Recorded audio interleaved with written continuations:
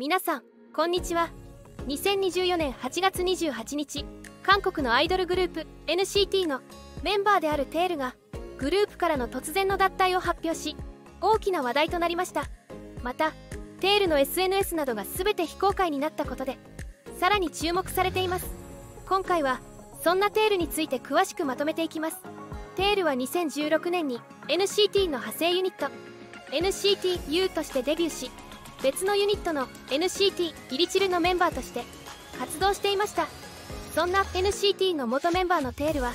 性犯罪に関与した疑いで書類送検されたと韓国連合ニュースが報じました。同ニュースによると警察は被害者の告訴を受け2024年9月28日にテールの取り調べを行っていたといいます。NCT が所属する SM エンターテインメントは取り調べの当日非常に重大な事態であることを認識した上で事務所は最近テールが性犯罪に関連した刑事事件で告発されたことを確認しました。調査を進める中で事態が非常に深刻であると判断しこれ以上グループでの活動を継続することは難しいと結論付けテールとの話し合いの末脱退が決定しましたと発表していました。では NCT のテールが訴えられた性犯罪の詳細とは一体どのようなものなのでしょうか。NCT テールが刑事告訴された性犯罪の具体的な内容については現在のところ公開されていませんでした。ですが報道されている情報から察するに彼が関与していた事件は非常に深刻であり事務所もこれ以上グループ活動を続けるのは難しいと判断するほど重大なものであったようです。一部の噂では未成年に関する犯罪など SNS にて取り上げられていますが確定されたわけではありません。この状況を受けてファンや関係者にとって大きなショックであることは間違いありません。テールが所属していた NCT という人気グループにとってこの脱退が今後どのような影響を与えるのかそして性犯罪の詳細が明らかになった際にさらにどのような反響があるのか非常に注目されています。また報道の最初はテールは性犯罪者として報道されていましたが現在のところ性暴力という記事のタイトルになっているため性暴力が原因であることが分かります。ただ SM エンターテインメントからは性犯罪の詳細について公式な発表がないためこの情報が正確かどうかは確認できません。現時点ではこれを一つの可能性として受け止めるのが適切かもしれません。他にも性行為の隠し撮りを行ってたとしてファンミーティングの前日に調査されていたことが書かれています。ただこちらも現時点では詳細が公表されていませんでした。そんな中現在韓国ではテレグラムによるディープフェイクの犯罪が問題になっています。当時直近の話題だったことからこのことに関係しているのではテールもこの事件に関わっていたため脱退させられたのではと言われています。これに関しても SM からは何の発表もありません。ただ SM エンターテインメントでは過去に問題を起こしたグループのメンバーでも脱退にまでしなかったという過去があります。これらのことからも今回はテールの脱退を早急に決めたのは内容がかなり悪質であるということがよくわかります。韓国では性犯罪に対する刑罰は日本よりも厳しいと有名です。韓国では最長で無期懲役もしくは7年以上の刑が課されることがあります。日本では性犯罪で懲役になる場合刑期は数年程度なので比較するまでもありません。強制わいせつ罪の場合13歳以上の者に対して暴行や脅迫を伴うわいせつ行為を行った際に適用され懲役6年以上10年以下の刑罰が課されるためテールにはかなり厳しい判決が出るかと思います。そんなテールが YouTube の動画を全て削除し SNS も非公開に切り替えたことでも話題になっています。テールは性犯罪事件で告訴された後 SNS アカウントは非公開に切り替えられ運営中だった YouTube チャンネル「テイルムーム」の動画は全て削除された状態です。ですがテール自身は未だ NCT メンバーをフォローしている状態です。テールは性犯罪で告訴されたことについて釈明または謝罪をしないまま姿を隠しています。以後 SM エンタテインメントをはじめ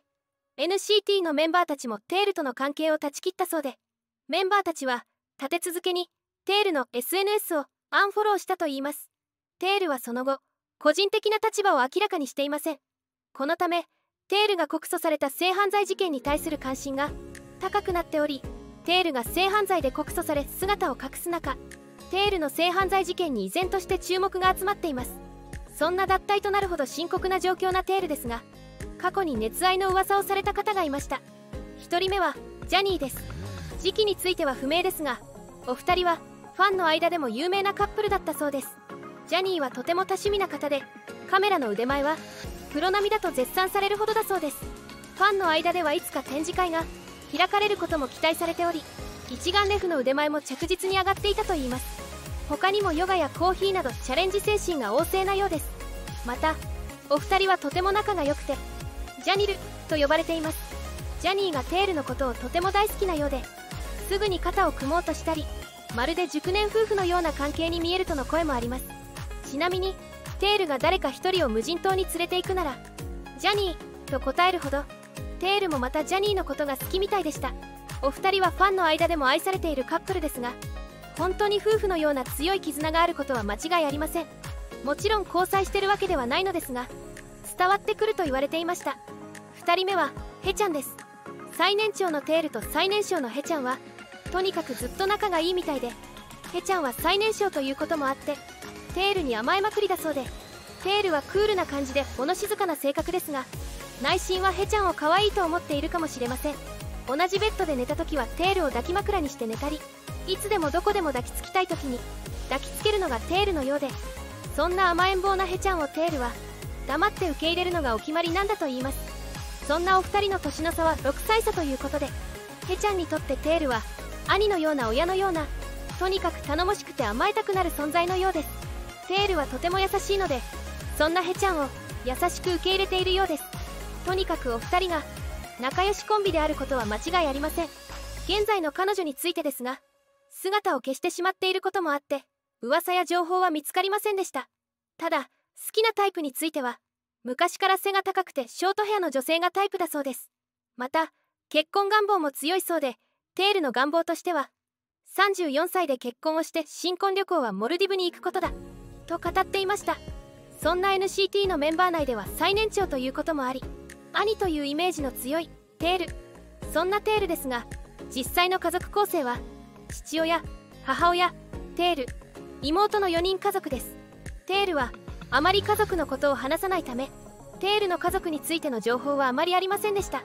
ですが X ではテールの父親はタクシー運転手という情報がありました。また父親同様母親のこともあまり明らかになっていませんが以前母親とのエピソードを話していたことがありテールはメンバーからギフトをもらうたびに母親に報告すると言います。その際に自撮りを添えて連絡するのだそうで母親とテールの微笑ましいやり取りがファンからは素敵だというコメントが多く寄せられました。そしてテールには3歳差の妹がいます。妹は芸能活動をしておらず一般人です。現在は就職をして社会人として働いていると推測されています。テールは妹とは頻繁には会わないようですがたまに会うととても親密な時間を過ごすようで妹とは気持ちが通じやすくまたテールの話をとてもよく聞いてくるのだと言います。妹はテールの良き理解者なのが分かります。そんなテールの幼少期についても触れていきたいと思います。テールは2001年3月にソウル徴兵小学校へ入学し2007年2月に卒業しています。ソウル徴兵小学校出身であることは多く広まっている情報なので間違いないでしょう。同じ出身学校の方々や地元の人から出身小学校の情報が広まっていったと考えられます。また幼少期のテールは芸能界にはあまり興味がなかったそうで動物が大好きだったことから最初に持った夢は飼育師でした。ですが詳しく調べてみるとかなり人気の職業ということを知り諦めてしまったそうです。その他にも検察官という夢を持ったこともあるといいます。小学校の時のテールはとにかくいたずらっ子だったそうで現在のテールにもその片鱗が見られると言われていました。メンバーにちょっかいをかける様子をしょっちゅう見られていましたが幼少期からの性格だったようです。また小学生の時には合気道を習っておりその腕前は2段です。その後2007年3月にソウル徴兵中学校へ入学し2010年2月に卒業しています。そして中学生の時から韓国の男性歌手モセさんの曲をよく聴くようになり当時からやはり音楽が好きだったのかもしれません。また中学生の時に初めてステージに上がり人前でパフォーマンスをしたといいます。何のパフォーマンスかは不明ですがそのことはテールの転機になったのかもしれません。また中学生の時には坊主だったということもファンの中では広く知られておりおそらく頭のニキビがあったようですが反抗心から髪の毛を切ることをしなかったそうです。そのため結局悪化し坊主にすることになってしまったのだといいます。そして2010年3月にソウル生活科学高校へ入学し2013年2月に卒業しています。またテールは実用音楽科に進学しているので当時から音楽が大好きだったことが分かります。このことからも高校から専門的に学び始めたと推測されます。ですが意外にも高校生の時の夢は歌手ではなくキーパーだったそうです。そのためサッカーにも夢中になっていたそうです。テールは取材で最も印象に残る旅行と聞かれ高校生の時の旅行と答えています。高校の友人とソンちゃんに旅行に行ったことがとても良い思い出として残っているようです。素敵な高校時代を過ごしたことが分かりますね。その後は2013年3月にハニャン大学へ入学し中退しています。テールが受かったハニャン大学の実用音楽科はものすごい競争率であることで知られています。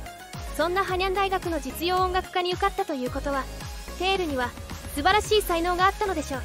実用音楽科に進んだということは歌うことを仕事にしたいと考えていたことが推測されます。大学に通い始めたばかりの頃青少年歌謡祭に参加したところスカウトも受けていたといいます。その後オーディションを終えて合格します。テールは大学を選ぶか練習生になるかで相当悩んだそうで一度は大学を選びますが SM エンターテイメントに説得され大学は中退しました。いかがでしたでしょうか？